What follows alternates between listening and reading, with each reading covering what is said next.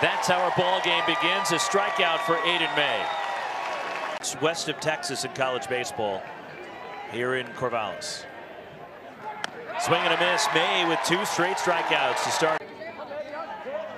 Line into left and a hit for Mason Guerra. Around third, Elijah Hainline will score. This gets all the way to the wall.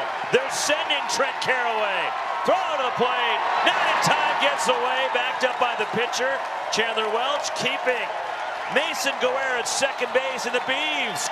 0 for 2, Gavin Turley. Leads Oregon State in RBIs and a drive. Way back in left. Grand slam. Oregon State has taken the lead.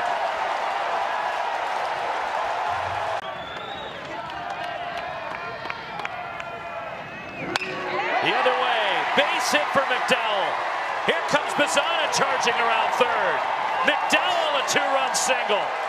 8-4 Oregon. Been able to overcome it so far. Strike three call to Lombardi. Evan Schultz at first. Swing and a miss, he blew him away.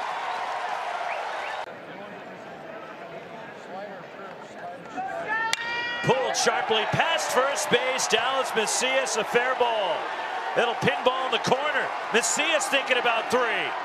Turns and then slams on the. Bazzana drills one. Center field. Going. Going. Gone.